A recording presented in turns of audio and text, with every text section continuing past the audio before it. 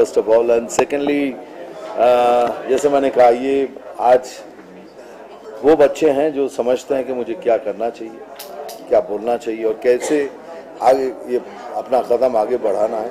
जैसे but underline करूँगा कि that doesn't mean they are over smart kids they are not over smart they know what exactly what they have to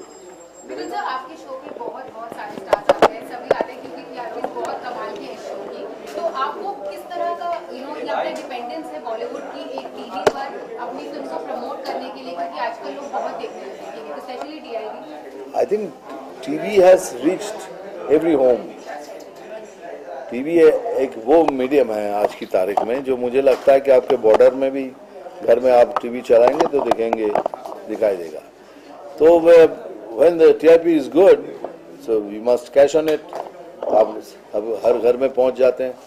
और promotion की बात करें इससे बढ़िया प्रमोशन और क्या है? पहले तो हम लोग पोस्टर लगाते शहर शहर घूमते थे अभी घूमते हैं लेकिन I think this is better way to do it दादा आप सबको नचाते हैं अपने धुन पे। आज प्रियंका रणवीर और अर्जुन को किस मैं किसी को अपने धुन पे नहीं नचाता हूँ बल्कि मैं कोशिश करता हूँ कि वो आजकल तो मैं देखना ज़्यादा पसंद करता हूँ क्योंकि 350 फ़िल्मों में खाली डांस ही तो किया हूँ खैर आज जो आ रहे हैं सब big stars of Bollywood and super stars of Bollywood देखते हैं मेरे ख्याल से आज भी कुछ डेफिनेटली धमाल होगा Dada, you've been hosting the show since a lot of time now, all the seasons now. How would you describe your experience? It's बहुत ज़्यादा बर्डन है हर साल हर सीज़न ऐसा लगता है कि और ज़्यादा रिस्पॉन्सिबिलिटीज़ बढ़ जाती हैं क्योंकि आपको पिछले से और अच्छा करना होता है। कोशिश करता रहता हूँ किस तरह इसको ड्राइव करके मंजिल तक लेके जाना है। और सिर्फ़ मैं नहीं, सभी मेरे साथ हैं। सभी कोशिश करते हैं कि जगह जुट के हम लोग किस तरह से इसको आगे ले जाएँ। तो आप बॉलीवुड में बहुत से रिकॉर्ड्स टूटने लगे हैं। आपके टाइम से अब तक बहुत सारे चेंजेस भी आ चुके हैं। अब आप कितना जानते हैं बॉक्स ऑफ़िस रिकॉर्ड्स के बारे में और किस एक्टर की फ़िल्म यू लुक फॉरवर्ड किस एक्टर बोलना सही नहीं होगा।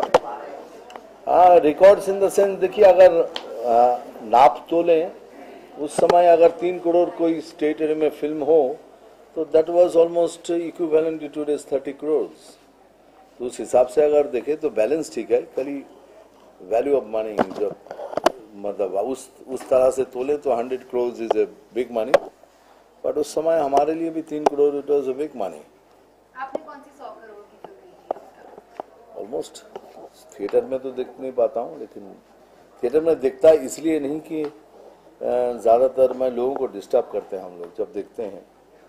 फ़िल्म नहीं देखते हैं लोग तो इसलिए बेहतर है कि हम लोग घर पे ही देखें। दादा का बात की जाए तो वापस से गीता आ रही है कितने आपके फेवरेट हैं ये देखिए ये सब प्राइवेट बातें हैं आप टीवी पे ना पूछो तो बेहतर। किया जा रहा है तो एज अ क्रिकेट फ़ैन आप क्या कहना चाहेंगे Sir, he is god of cricket.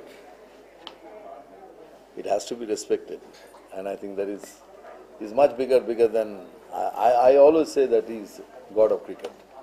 तो भगवान का कैसे सम्मान किया जाएगा मुझे नहीं मालूम thank you thank you sir